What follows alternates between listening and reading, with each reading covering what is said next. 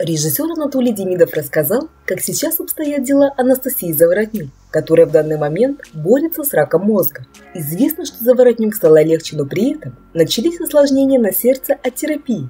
Мобильного при ней нет. Ей его дают иногда, когда она хочет кому-то позвонить. Родные очень оберегают ее покой, боятся, как бы кто-то не позвонил непрошенным, не стал бы ничего выяснять.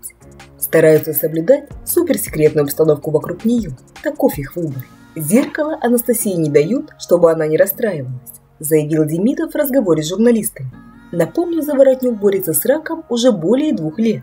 Близкие семьи оберегают Анастасию от посторонних людей и не рассказывают о ее состоянии.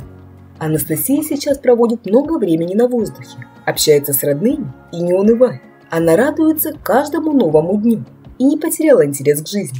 Неизвестно, вернется ли она когда-то к профессии актрисы, но поклонники на это очень надеются. За Заворотнюк молятся не только фанаты, но и коллеги по цеху.